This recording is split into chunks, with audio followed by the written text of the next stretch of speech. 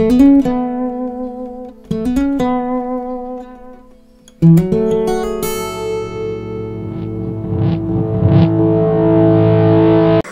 prieteni, iar suntem noi. Vrem să facem o excursie pe jos prin uh, țara noastră, că e frumoasă. Nu numai India e frumoasă, dar și țara noastră. Și ne-am luat cu Ion o decizie, mergem azi în turism pe jos, până la mama în sat, în satul Codreanca, raionul Strășeni. Dormim o noapte acolo și după asta plecăm la Clișova, la Ion în sat. Și uitați și ne-am luat noi pe drum. Și distanță. Undeva vreo 60 de km, 70, dacă o luăm pe de dreapta. Mi-am luat așa pâine din grâu încolțit, ca hrană, roșii și persici. Ion, uite, și cu persic asta. E Trebuie, dulce. trebuie mâncată, da. Prieteni, după cum v-am spus, noi mergem într-o călătorie, facem un turism pe jos. Și pot să vă spun eu, azi cu Ion n-am mâncat practic ni- nimic, am băut o măniște apă și am mâncat, am mâncat un persic, mă, așa Da. Vrem peste o jumătate de oră, o oră să mâncăm ceva. Noi de-am ieșit din, din oraș. Asta e poșta veche. Și trăiește și nu cunoaște locul. Și uitați-vă, e, chiar o plouat azi noapte și azi dimineața, dar nu ne pornim pe glot. Ia să ne prindă ploaia pe drum, pe noi nu, nu ne deranjează, fiindcă suntem pe hrană crudă, de-am de un an și jumate. Și n-a să rășim. E, Stând așa cu Ion de vorbă, ne-am gândit iar să schimbăm alimentația.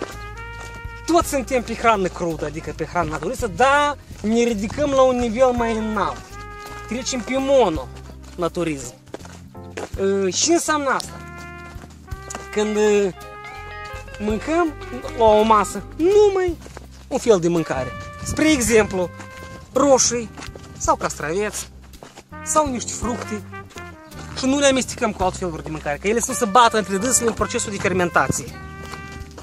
Aceasta este cea mai superioară treaptă a naturalismului. Și noi trecem cu teleugțică spre ea. Apropo, stați o leacă. Ia uitați-vă, am cumpărat azi vineri. Apropo, azi e vineri.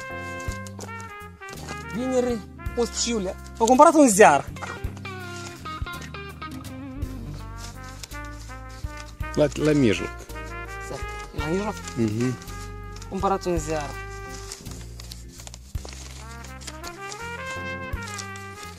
Ia uitați-vă, băieți. 100 de zile în India. Experiență.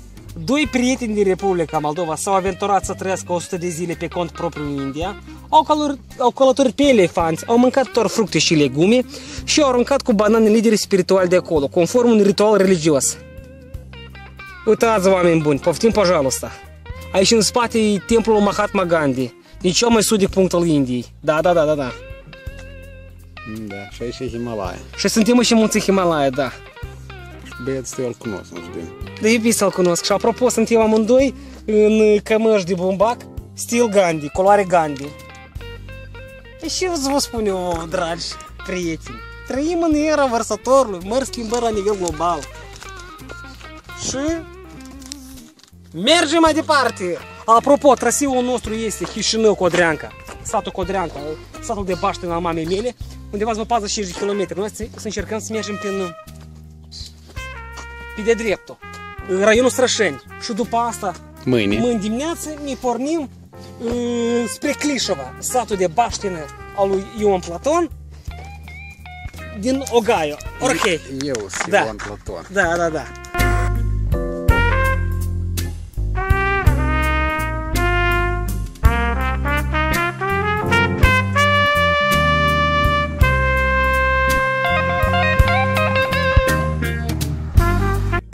Și iată că acesta este primul nostru popas în drumul spre Codreanca. Suntem în Grătiești, am ieșit din Grătiești, practic și Iazul și vrem să mâncăm. Vrem să ne încărcăm uh, bateriile cu niște hrană crudă care să ne dea energie. Uitați ce avem aici. Ana. Pâine din grâu încolțit, roșii și usturoi. Apropo, usturoiul pentru ce folosim noi? Pentru că noi mergem prin iarbă, uitați, suntem tățuți. Să nu ne anune, să nu ne anine căpușele. Poftă bună, dragii mei, și mergem mai departe. Hai!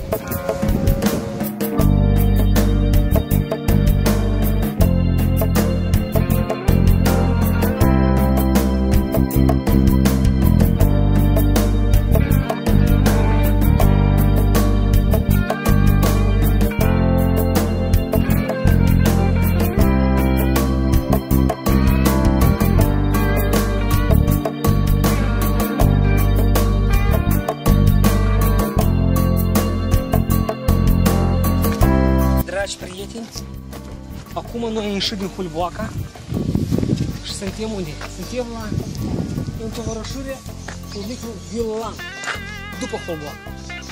Călătoria noastră continuă. Nu am obosit deloc. Avem foarte multă energie, dragi prieteni. Și viitor naturiști care ați venit să treacă pe alimentația naturiști. Dacă vreți energie, putere, Nu mâncați Dispoziție. duhnituri. cu dispoziție bună. Nu mâncați fructuri, dar mâncați greu încolțit. Eu vă spun sincer, au dau de viață eu și-mi bat soarele. Eu îmblu. Și eu sunt vesel. Eu am energie. Eu am o dispoziție extraordinară. Vă spun, treceți cu cereale încolțit. Este săcar, este grâu, este crișcă încolțită. E, Crișcă verde, mă scuzați, care o încolțești. Dar- Asfaltul e prăjit în magazin. da, da. Dacă consumat în fiecare zi, ați aveți energie și dispoziție bună. Noi am mers vreo 12 km, așa? Da, poate mai mult. Sau poate de la posta veche. Noi de-am ieșit din Hulboaca. Pe trecut Gratiește. Am mers bine noi. Și mă de seara să ajungem la Codreană. Și tot îți vas ne repegesc. Maxim să ne odihnim jumătate de oră pentru a mânca.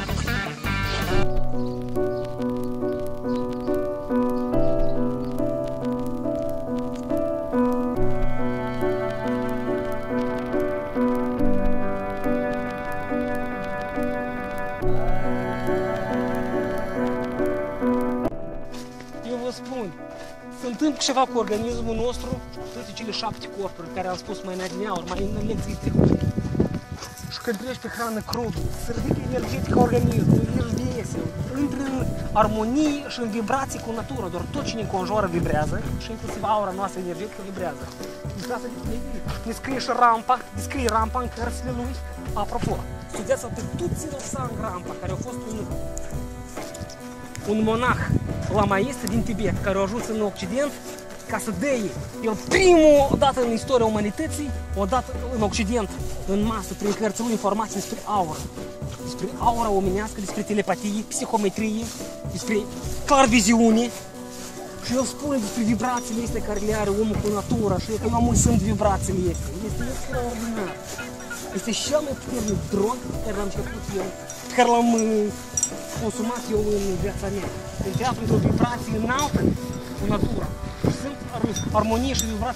uh, câmpului. Salut, băcuților! Și nu, acum noi cu Ion când mergem prin, prin natură, simțim așa o, o energie puternică și așa o stare psihologică de armonie și de plăcere și de veselie. Eu nu pot să, să vă descriu ce asta, e ceva extraordinar. Noi am mers undeva, undeva 14 km, bate vântul, a fost o leacă de soare, bate vântul, n-am obosit deloc și tot merge așa cum trebuie. Naturism, hrană crudă, turism pe jos, în sânul naturii și asta e cel mai, asta e unul dintre plăcerile pe care poate să le avea omul pe pământ. Înainte, mergem până la Pădrean. Seara să ajungem. Și prietenii noi intrăm într-o peșteră în naturii. În pădure. Sunt un miros foarte scărit de bălegați. Uite așa am intrat. Animalele, chiar și acele de pradă, ele sunt vibrațiile oamenilor. Și dacă tu, adică persoană, om, în ghilimele așa se spun, duci un mod de viață armonios față de animale, animalele, chiar dacă întâlnești cu dânsul în, în area lor de ambianță, de trai, ele nu te ating. Spre exemplu, eu cu tine la nivel de vibrație au, aurică. Noi nu avem uh, vibrații de animal, noi doar nu consumăm carne de foarte mult timp. Corect? Da, da. Înseamnă că noi nu mergem în contradicție cu legile naturii și a pădurii. Nu ucidem pentru a mânca. Mâncăm numai din mama naturii, din punct de vedere vegetal. Dar Dacă să ne gândim din alt punct de vedere, noi dacă nu mâncăm carne, suntem ierbivori. Dar Manifest. carnivorii mănâncă ierbivori. Da. Așa că des că sunt câte un harac ceva.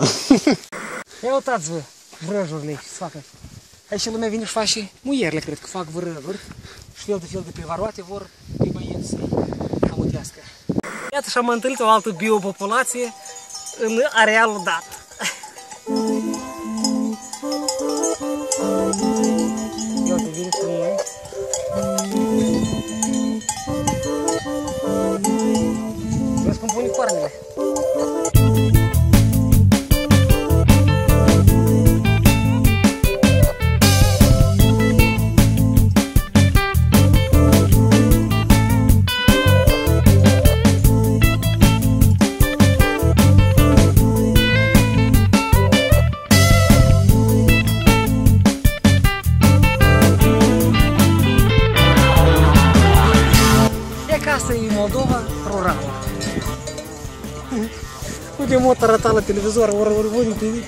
Tu spune Ion, dar mă că am văzut și eu.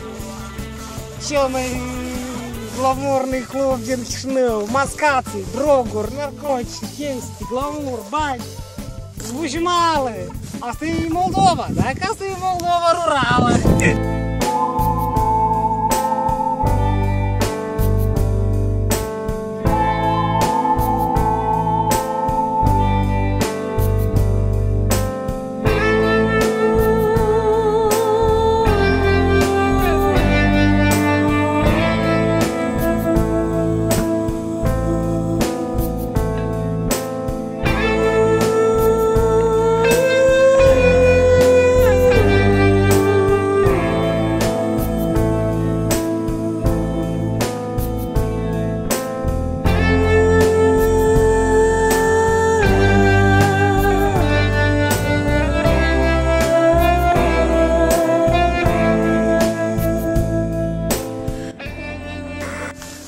Fiodorovич, Eu. încotro înainte?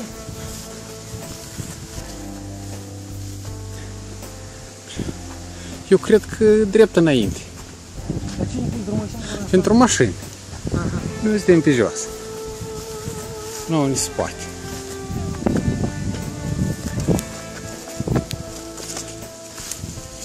Mi-e răcoare.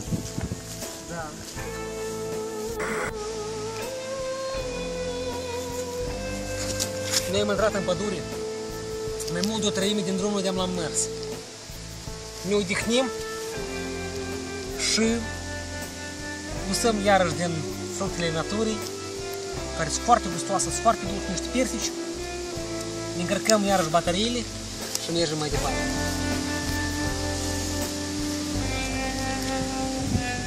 ne-a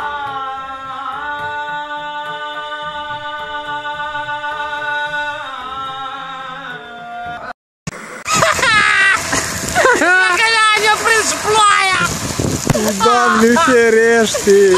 Plouă!